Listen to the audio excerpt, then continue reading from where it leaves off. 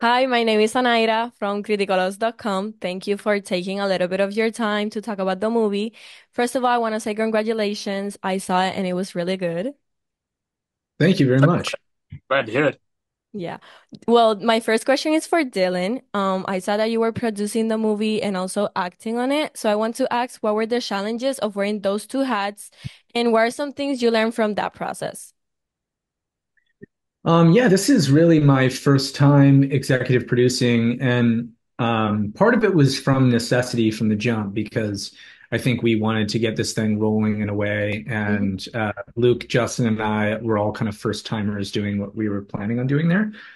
Um, but um, I was also very careful to separate the producer hat from the actor hat while hmm on set. Most of hmm my production side was uh, in the post and the pre-production. Um, so for me, I, I think that there wasn't much difficulty. Uh, although I will say I'm very used to as an actor uh, having a very particular role in the project and then it being done. And then I just Yeah. appear afterwards for the finished product. So this has hmm actually been really nice being all throughout the production cycle and kind of checking in and making sure things are aligned and and so that's been very fun. I couldn't I couldn't have done it on a better project with so many people that I love very dearly. Yeah. Well, there is an open question for either of you two because I'm really curious because the movie is a modern story, but since it's a duel, there's some vintage props in sets. So do you guys um wanted to keep something or maybe you kept something? I wish we could have kept our respective uh, pistols, Dill. That would have been amazing. Um, but of course, they were on they were on loan to production, um, and uh, they were not ours to keep. Uh, I don't remember if I did take anything either, uh, you know, wittingly or unwittingly, if I ended up with anything in my pocket. But I don't think I did. All I have are, all I have are the memories, unfortunately, but they're good enough. Yeah. Dylan, do you want to say something?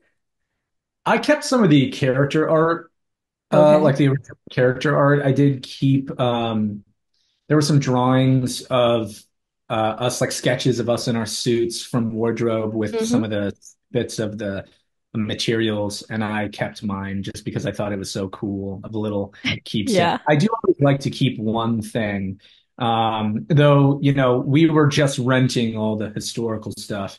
We Mm-hmm. couldn't actually take any of that home, though I wish it would be nice to have a dueling Yeah. pistol in that. Yeah.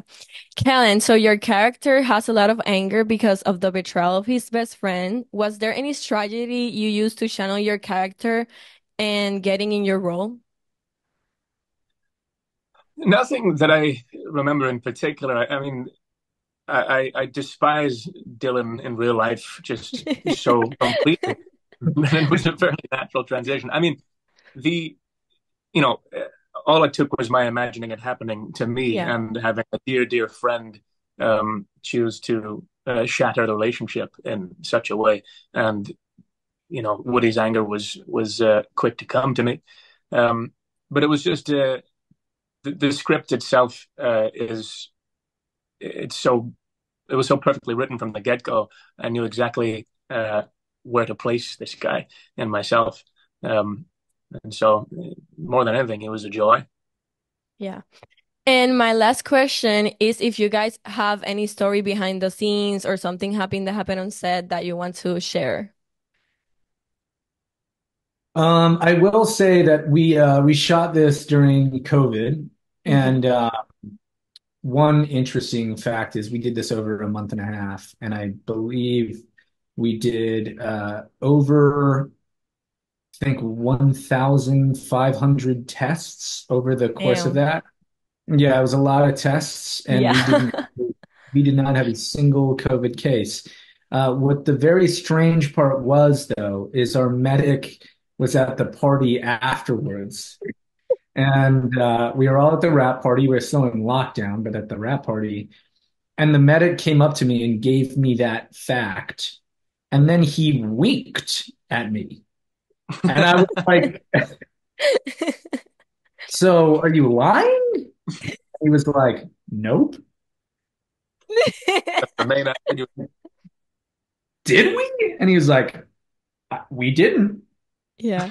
Like statistically impossible. I was like, okay, but you know, who knows? Uh, we didn't have any on paper, and no one was actually sick. So, the I think the gods were looking out for us on the ship. Yeah, for And the ones that were sick, we killed and buried offset. So don't Yeah, worry about them. Yeah. Well, thank you so much for your time. Best of wishes and congratulations on your new movie. thank you very much. Thank you. Thanks very much. Bye.